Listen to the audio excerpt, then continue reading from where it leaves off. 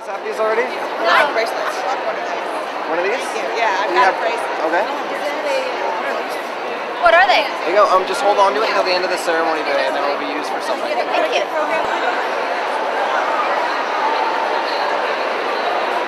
So why did you come to the Um, I came to see His Holiness, um, and he's talking about compassion, which he's the, uh, um, I think, the preeminent specialist on it in the world at the moment. So I came for that reason.